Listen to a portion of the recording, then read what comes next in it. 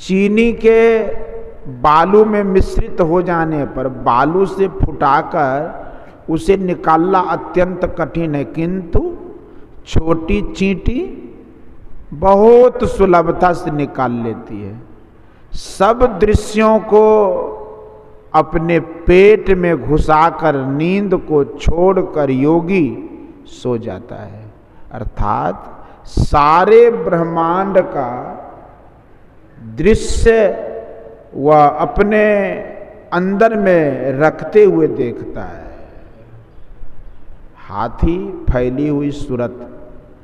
तमाम शरीर में फैली हुई सूरत हाथी है। सिमटी हुई सूरत सफरी मछली और सूक्ष्म पिपील का है। वह ब्रह्मांडी चेतन धारा को पकड़कर ऊपर को चल देगी। यह योग के अंदर की बात है। बालू जड़ है, चीनी चेतन है। अगर चींटी बनो, अर्थात सिमटाव हो तो जड़ छोड़कर चेतन को ग्रहण करोगे। तब क्या होगा? योगी हो जाओगे। जागृत स्वप्न और सुसुप्ति को छोड़कर ऊपर उठ जाओगे, नींद को छोड़कर, अर्थात सुसुप्ति से ऊपर उठकर बाहर संसार और शरीर से वह बेखबर है। गोया, निठाह नींद में सो गया है।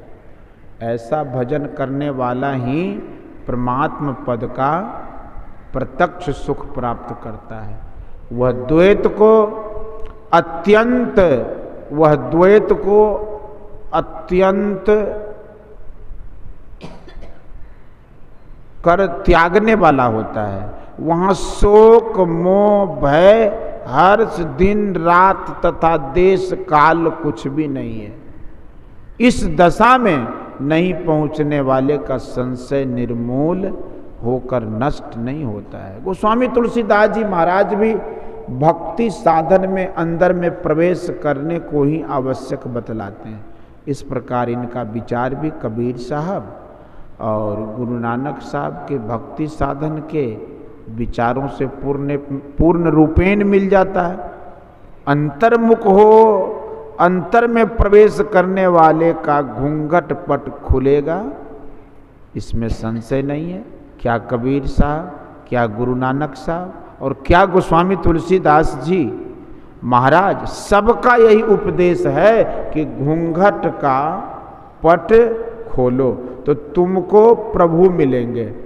यही सब संतों का विचार है, उनकी ओर से यही प्रसाद है। इस प्रसाद को पावें, केवल सुनने से पाना नहीं होता है। इसके लिए युक्ति प्राप्त कर साधना करें, तब पाना होगा। तुलसी साहब का तो कहना ही क्या है? ये तो अपने प्रत्येक शब्द से अंतर में प्रवेश कर भक्ति करने को बताते हैं। ये कहते हैं कि ब्रह्मांड स्थित निज चेतन, चेतनात्मक गगन द्वारा गगन धारा को पिंड से निकलकर, अर्थात पिंड के ऊपर उठकर देखो व धारण करो। यह कथित धारा परम पावनी गगन गंगा है। अपने को यमुना धारावत इसमें मिला दो। यह मिलन स्थान प्रयाग का तीर्थ तीर्थ स्थान है। इस मिलन में गंगा धारा की ध्वनि आदि गुरु गति की खबर देती है। संत लोग इसी मिलन स्थान के त्रिवेणी तीर्थ में पवित्र स्नान करके सारे कर्म बंधनों को धोकर बहा देते हैं। और तूल, मूल, अतुल स्वामी से मिल जाते हैं। इस कर्म को करते हुए आप अपने को रामानंदी कबीर पंथी नानक पंथी और दरिया पंथी आदि किसी पंथ का मानिए तो अवश्य ही आप उस पंथ के यथार्थ पथिक हैं, पंथी हैं। परम श्रद्धेय सदगुरु बाबा देवी साहब ने एक पत्र मुझे लिखा था। पहले तुम दरियापंथी थे। पहले तुम दरियापंथी थे, अब समुद्रपंथी हो गए। उनके इन, उनके इस कृपामय वचन की यथार्थता मुझे प्रत्यक्ष सी ज्ञात हो रही है, क्योंकि उनकी कृपा से संतों के परमानंददायक वचन समूह के समुद्र में मैं अपने को पाता हूँ और सब संतों का एक ही पंथ उस परमानंद सिंधु में गुरु कृपा से मुझे दर्शित हो रहा है।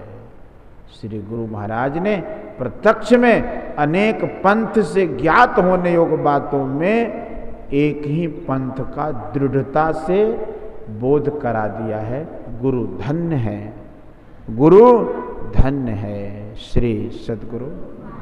यह प्रवचन बांका जिला मंदार पहाड़ पर श्री कीर्ति नारायण सिंह द्वारा आयोजित दिनांक इकतीस तीन उन्नीस सौ ईस्वी के रात्रिकालीन रात्रि काल के सत्संग में हुआ था। बोलिए श्री सदगुरु।